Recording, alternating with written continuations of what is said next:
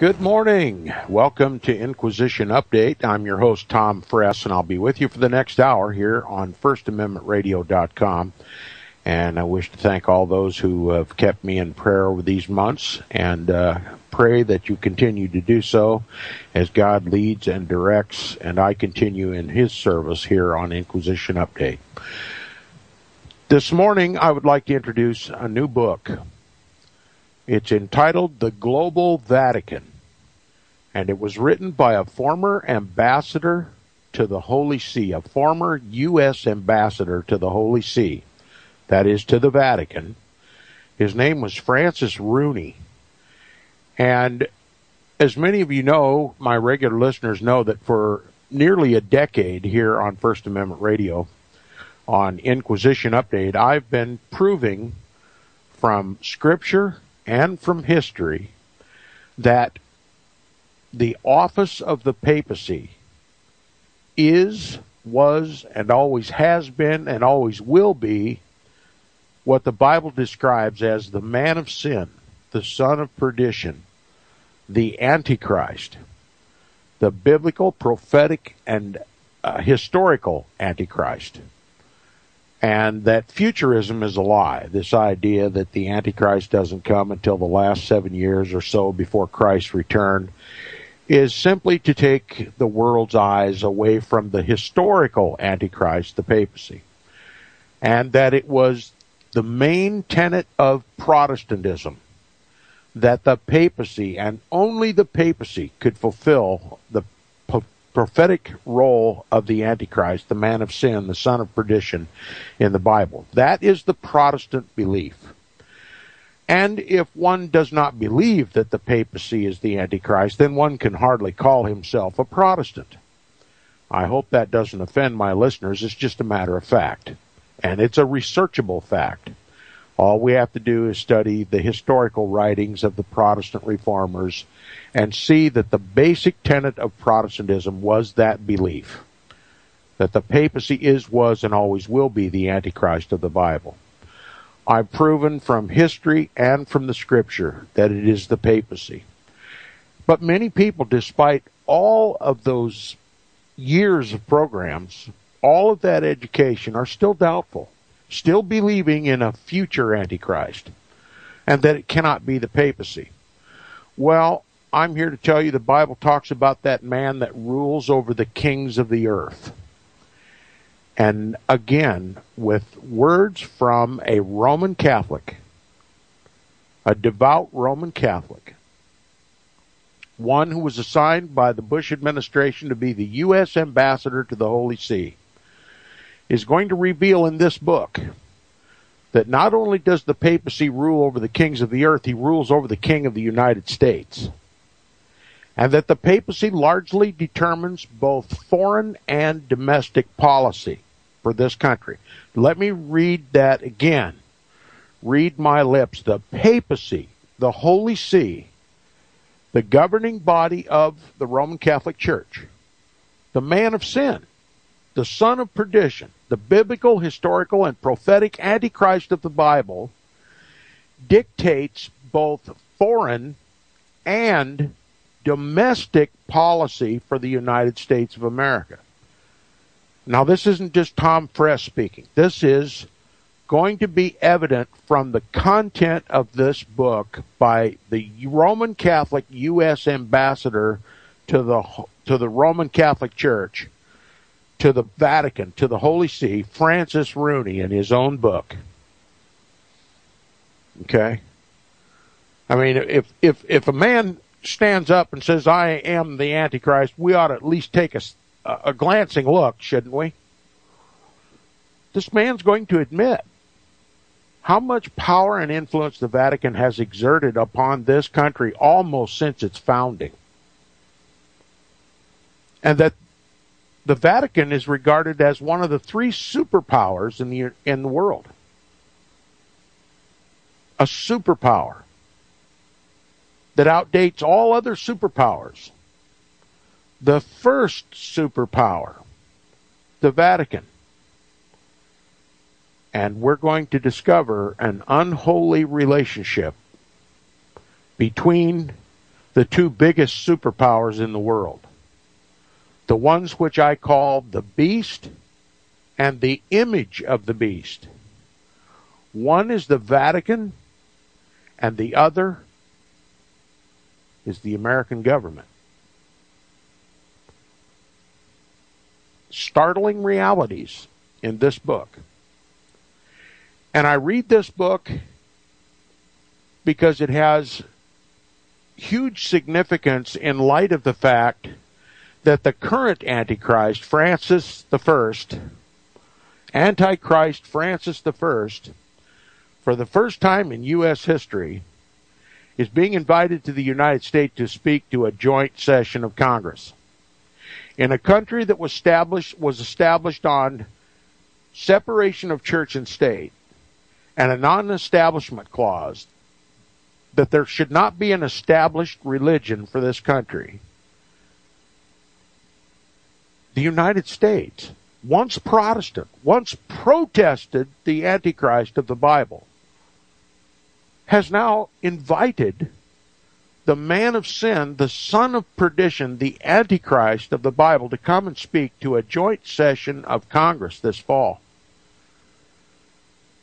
And you might ask, what would the Antichrist do if he had an opportunity to expose his role as the rulers of the kings of the earth. I think that ought to be a prime consideration and prime concern for Americans, both Roman Catholic and Protestant. We used to think that we had some say in government. History and the Bible and this book is going to reveal that the people do not have a say. And uh, it's a hideous reality. I know I've used that term to describe this before, but the more and more I research this, the more and more I study it, it it's a mind boggling state of affairs for Bible believing Protestants in this country. Few as there be may be.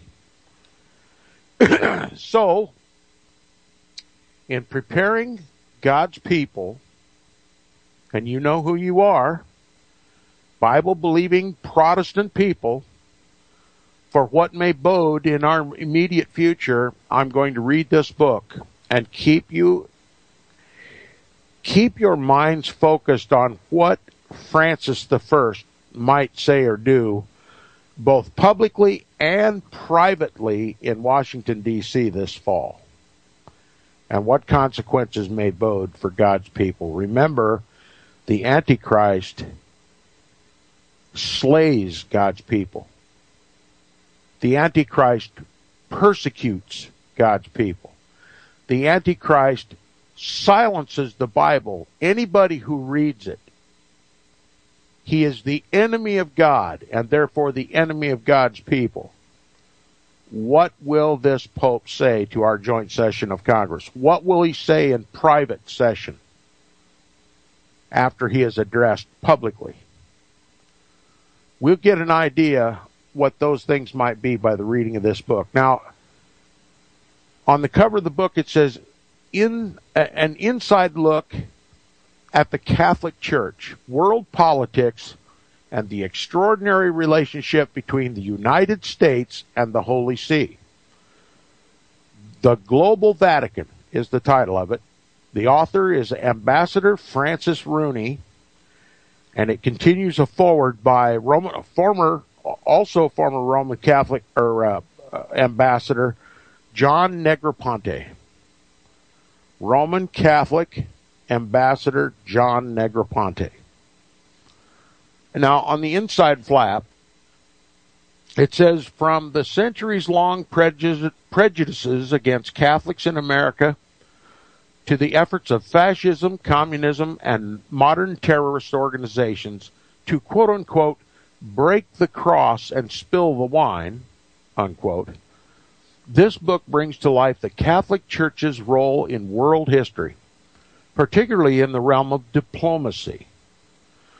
Former U.S. Ambassador to the Holy See, Francis Rooney, provides a comprehensive guide to the remarkable path the Vatican has navigated to the present day and a first person account of what that path looks and feels like from an, an American diplomat whose experience lent him the ultimate insider's perspective.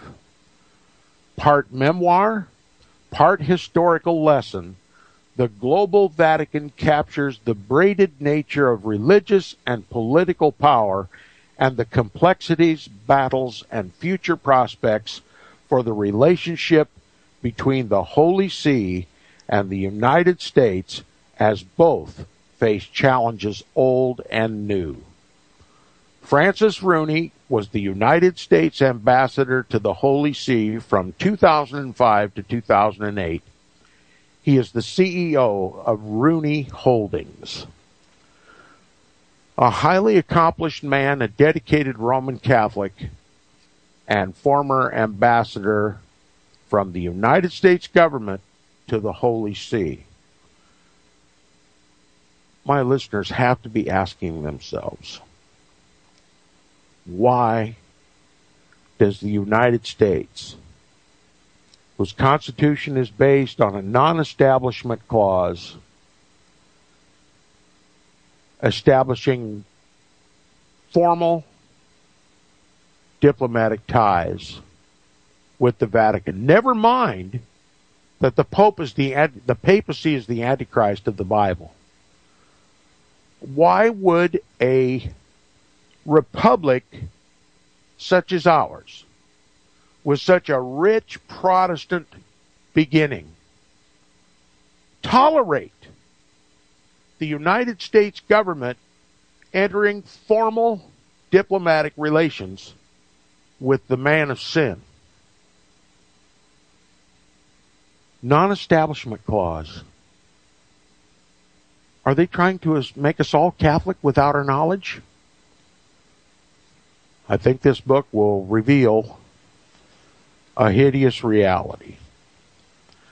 Now, the forward of the book is written by, again by John Negroponte, a former U.S. ambassador, a devout Roman Catholic, and I think you'll find this forward also very interesting. He says many, if not most, U.S. diplomats have at least some dealings with their Vatican counterparts during the course of their foreign service careers. For my part, I witnessed the leadership role played by papal nuncios in assignments to three different countries in Latin America. At other postings, such as Vietnam in the 1960s, remember we read right here on Inquisition Update the book entitled Vietnam Why Did We Go by Avro Manhattan. We discovered that the Vietnam War was literally a Holy Roman crusade led by the United States to put down the legitimate government of Vietnam and to install a Roman Catholic dictatorship. That's what it was to make Vietnam Catholic. And this author mentions the Vietnam War. He says, at other postings such as Vietnam in the 1960s and Iraq in the, dec- in the last decade, I witnessed the plight of Catholic populations frightened and uprooted by ideological and sectarian conflict and I was privileged to meet Pope John Paul II during his pastoral visits to three of my uh, ambassadorial postings uh, Honduras, Mexico, and the Philippines. One has to personally witness such a papal visit to a predominantly Roman Catholic country to appreciate the enormous spiritual and emotional influence these events can have on a country. I first met Ambassador Francis Rooney in June of 2007 when I accompanied President Bush on his visit to Rome and the Vatican. Both of us escorted President and Mrs. Bush on their call on Pope Benedict. And as it turned out, both of us were with the president after leaving the Vatican during these uh, during those tense moments when his limousine momentarily stalled on the way to our next destination. I appreciated then and have come to appreciate more Ambassador Rooney's thoughtful, even scholarly approach to his assignment. What he has done in this book is to provide us with a very readable account of the U.S. Vatican relationships since the founding of our nation. He also traces the growing importance over time of the Catholic Church in our country.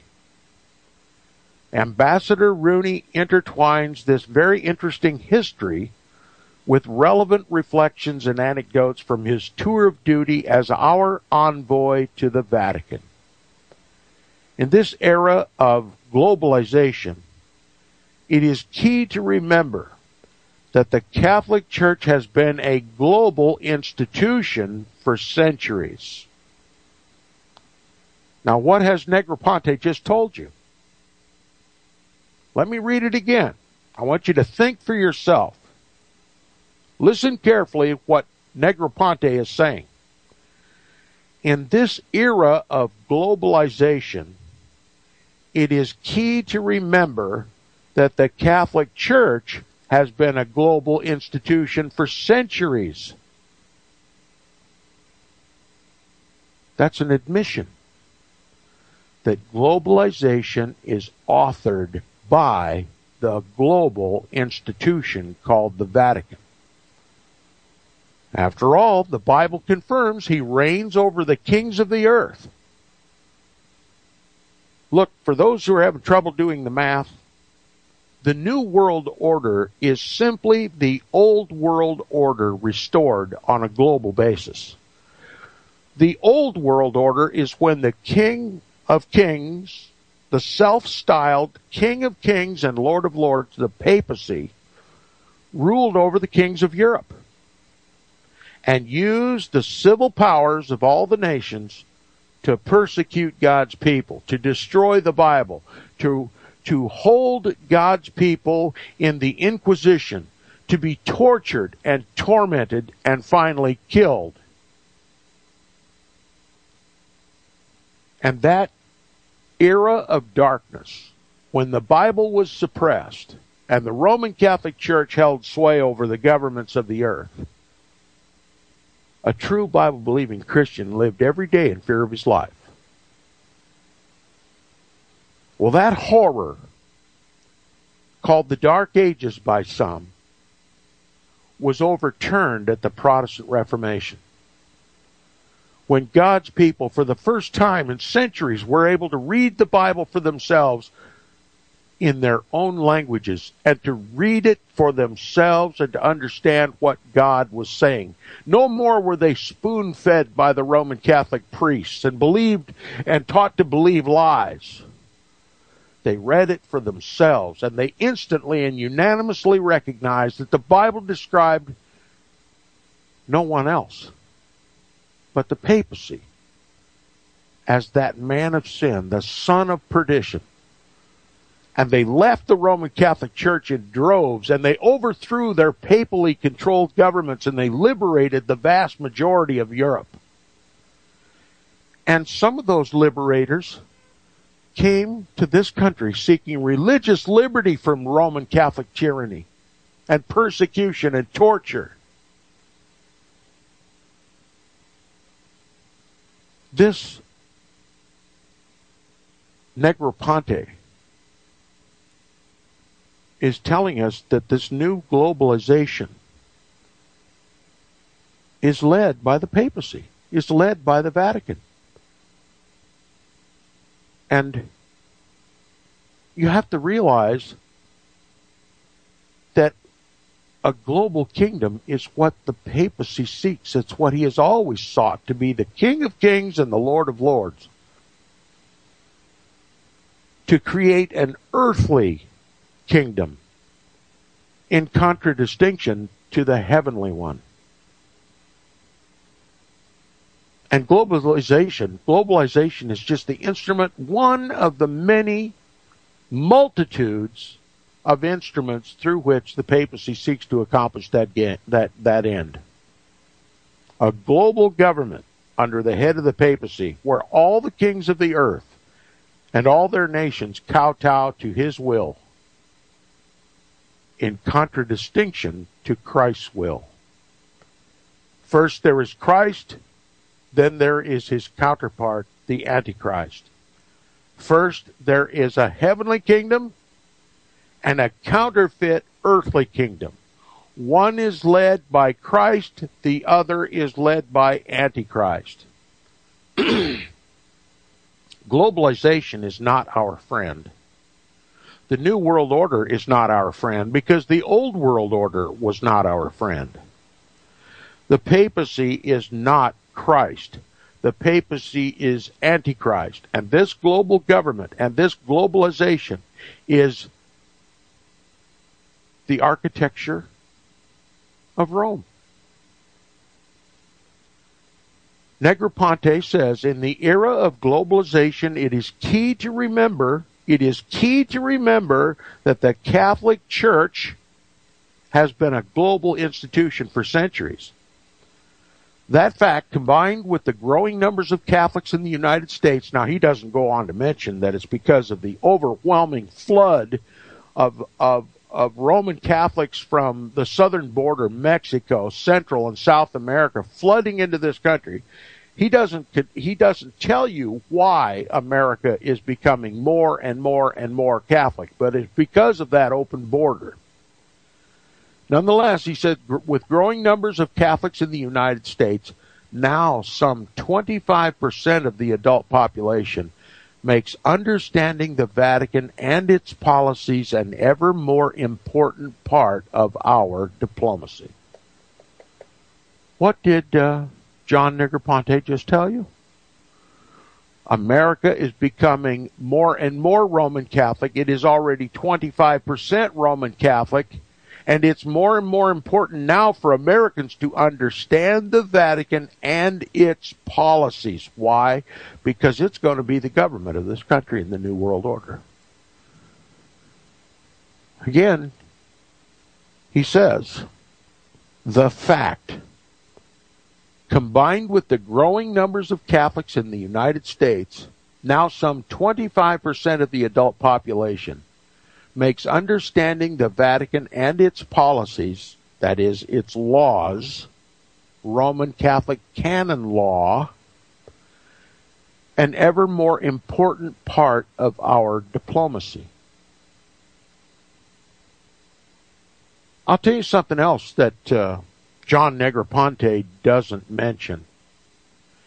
And that is since futurism, the idea that the papacy is not the Antichrist, but it is a single individual that doesn't come on the world scene until just seven years before Christ's return.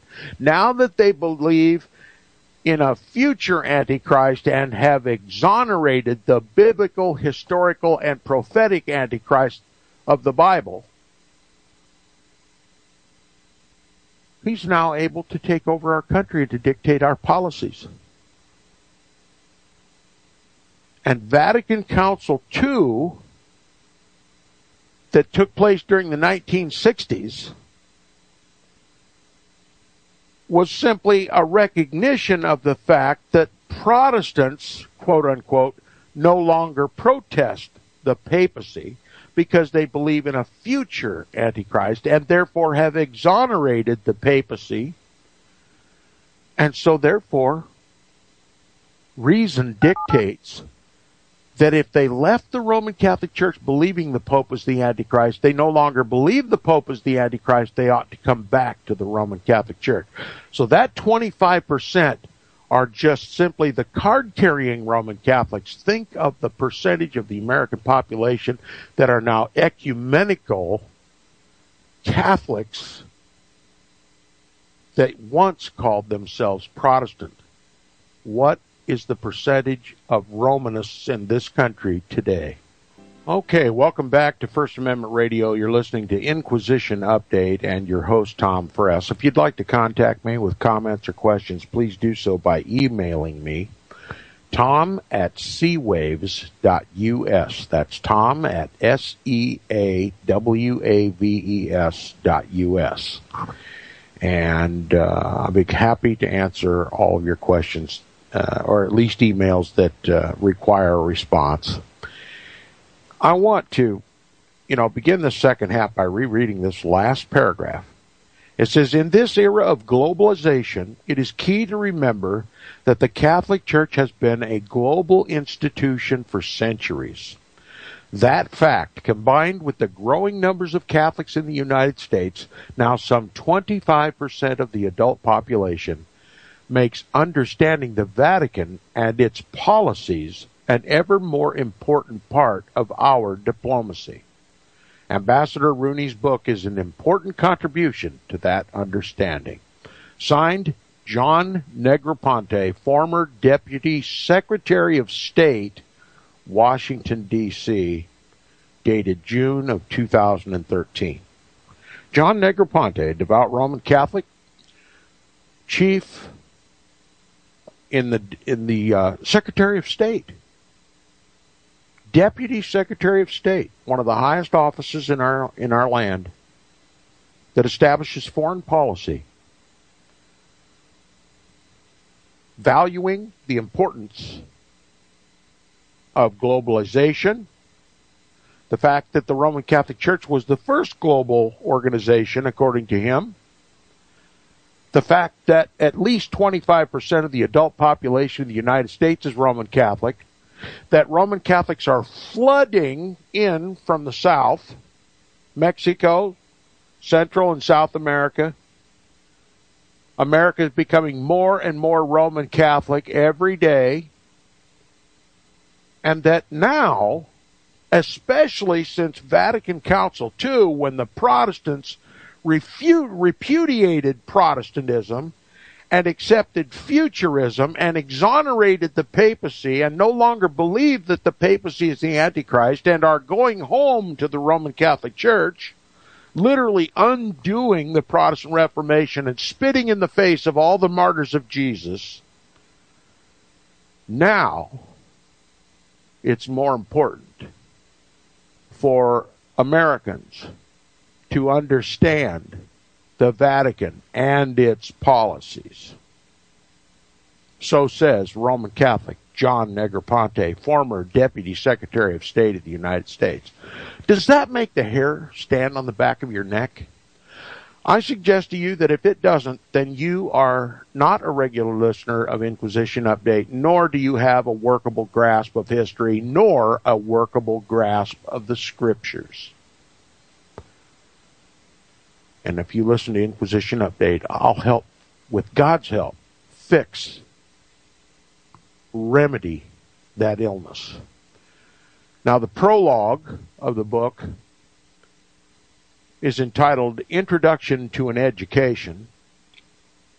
This is written by the author, Francis Rooney former U.S. ambassador to the Holy See, the so-called Holy See. There's nothing more unholy in the world than the Antichrist and his government.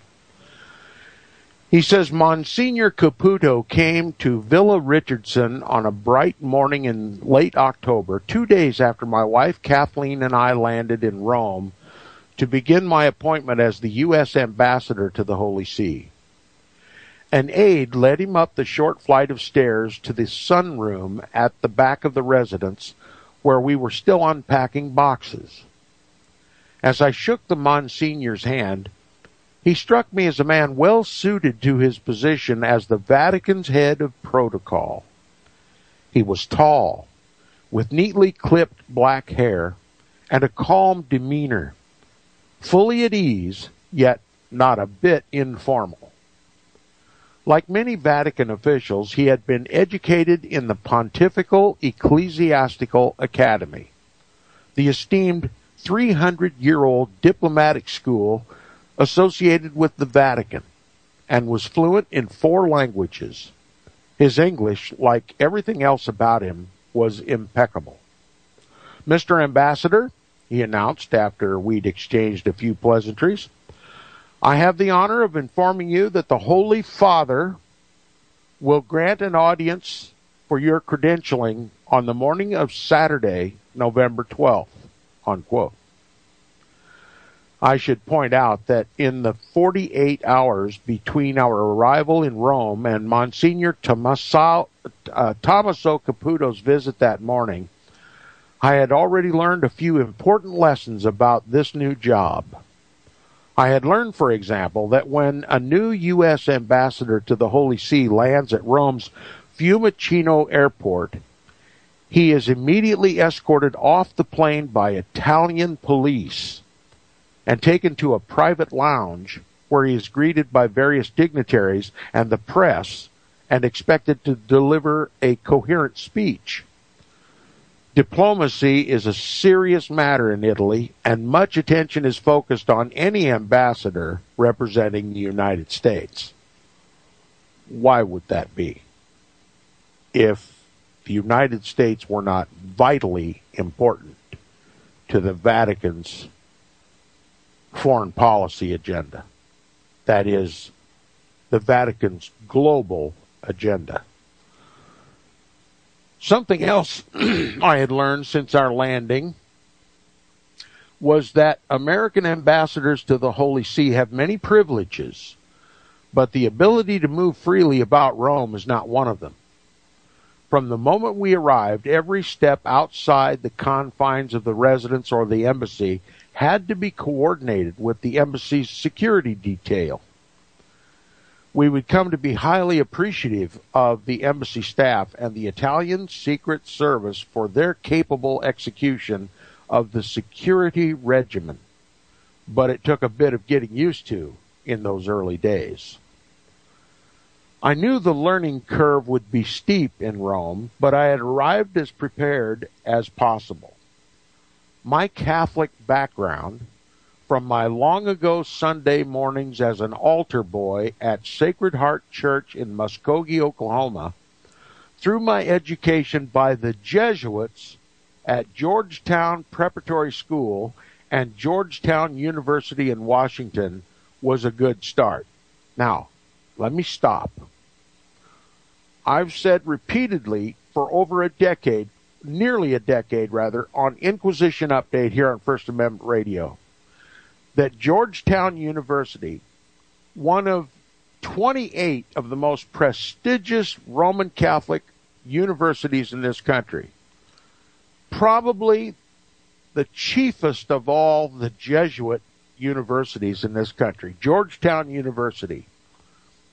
Its purpose is to cultivate the cream of the intellectual crop of Americans,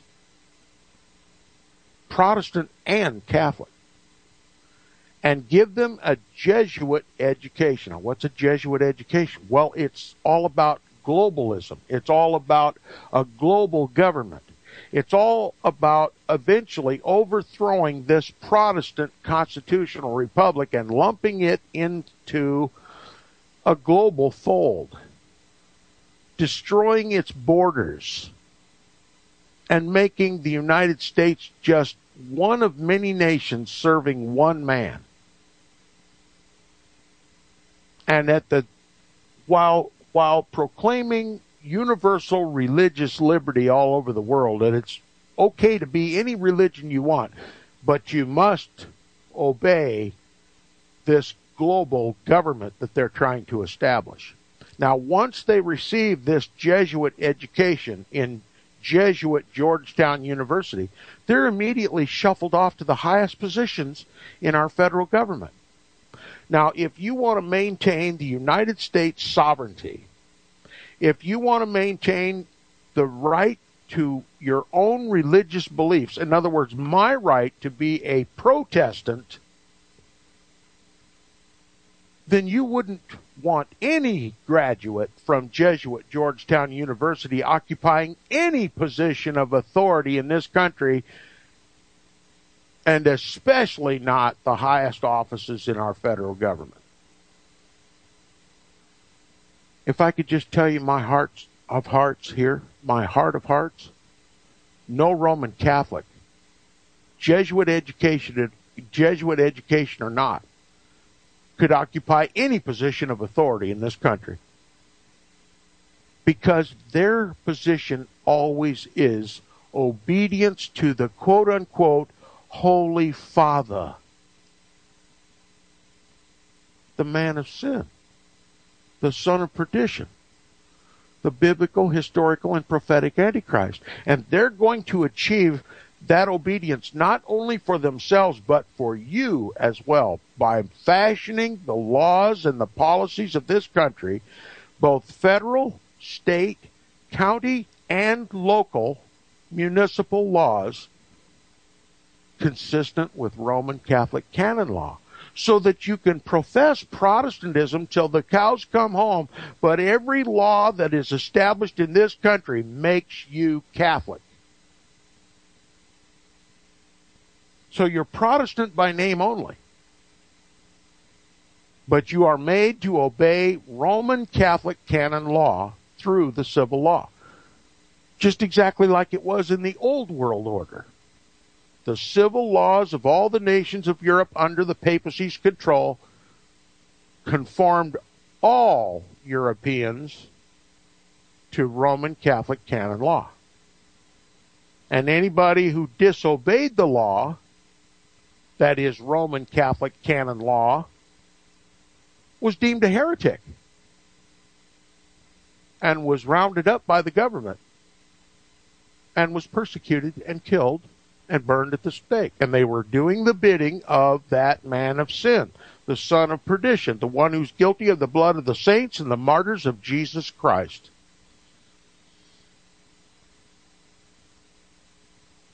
And that's John Negroponte's duty in life. That's Francis Rooney's duty in life. That is the duty in life of every Roman Catholic, whether he accepts that duty and takes it seriously or not. But let me tell you, Washington is crawling with quote unquote Americans who are first and foremost papists. And through the civil laws, through foreign policy, through domestic policy, they are making us all Catholic, whether we profess Protestantism or not. By force, I am made, I'm being made to comply with Roman Catholic canon law, to hell with God's law, to hell with the Bible, and I must serve Antichrist with my hands and my feet.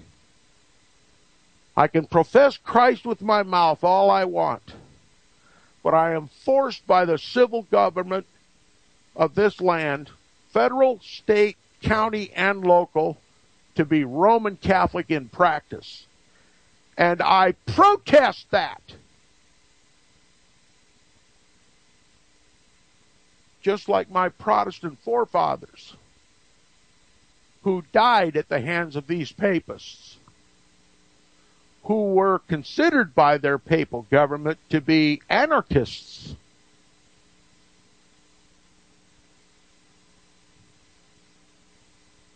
They would rather obey God than men. They protested the papacy's control over the governments and the kings of the earth. And they won for me, or at least generations of Christians after them, freedom from papal antichrist tyranny. And it is these people, graduates of Georgetown University, occupying the highest positions in our government, that are undoing the Protestant Reformation, bringing Roman Catholicism to this land and making Protestantism outlawed. And we're going to be called radical fundamentalists. We're going to be called Bible bumpers. We're going to be called anarchists. But we will not bend the knee to Baal. I hope you're with me.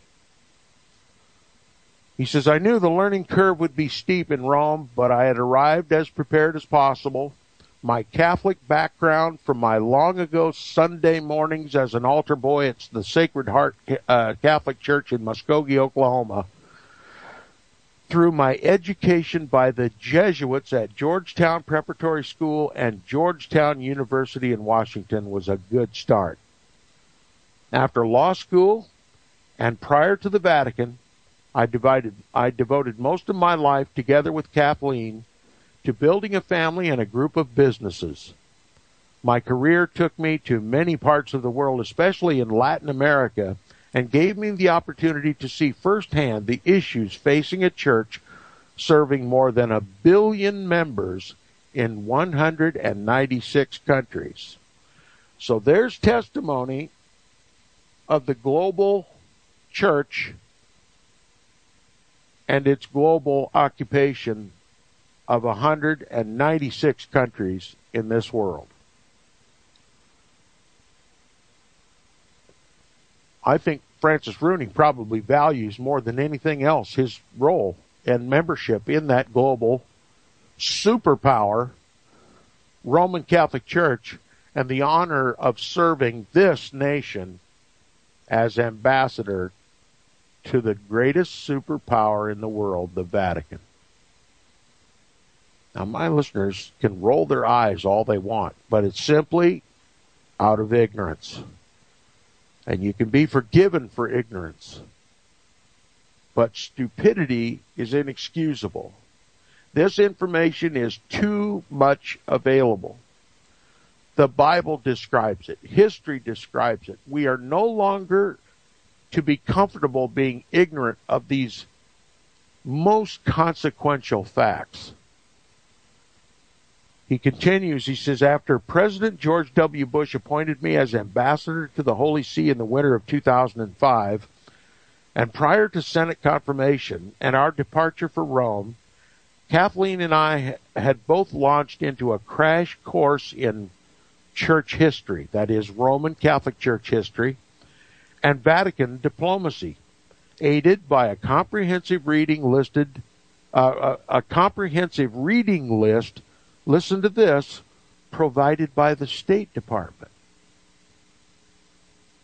Now, look, he works for the Department of State, ambassador to the Holy See. He should know his business, and surely the State Department would provide him a lot of reading material.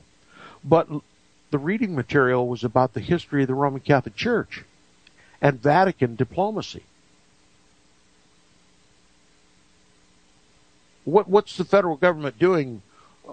You know, advocating the study of uh, of Roman Catholic Church history. Is that the business of government? I would say, well, come on, Tom. He's going to be ambassador to the Vatican. Certainly ought to know something about Roman Catholic Church history. Well, is he representing the United States to the Roman Catholic Church? Or is he just simply representing the United States to a, a well, a 109 acre monarchy? See, don't be confused. The United States would have you believe that its concern is only with the temporal government, the civil government, the monarchical government of Vatican City, which is 109 acres, while it instead is the right arm of the Roman Catholic Church, which is global,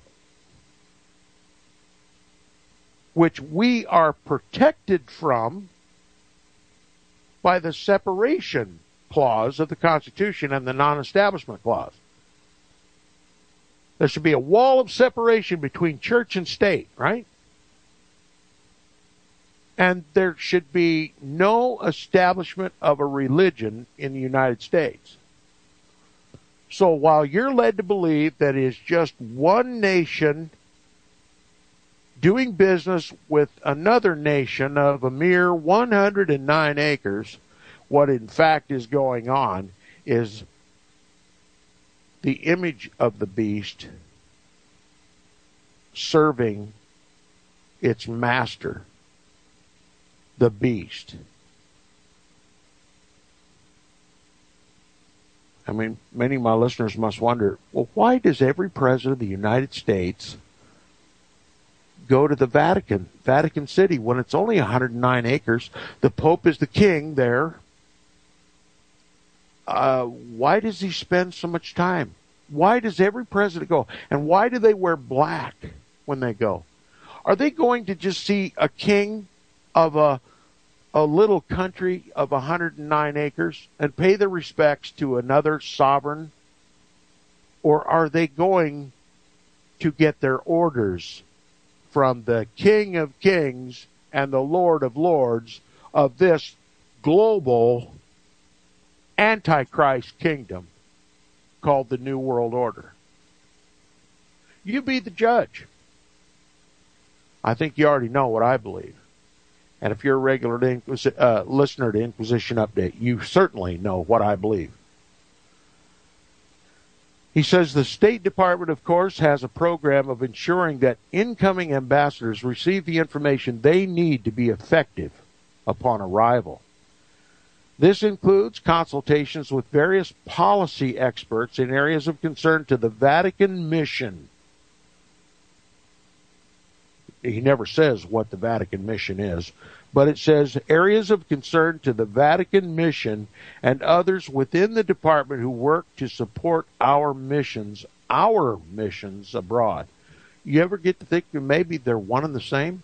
The Vatican's mission and our mission, our foreign policy missions are one and the same? I'm suggesting to you that they are. And that's why the Vatican is so important to the State Department of the United States.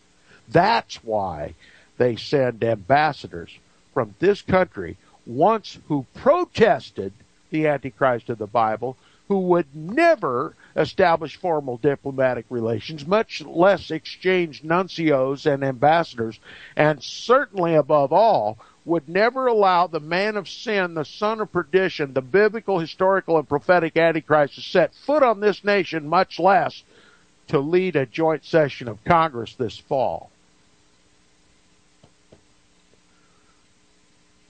He says this includes consultations with various policy experts in areas of concern to the Vatican mission and others within the department who work to support our missions abroad.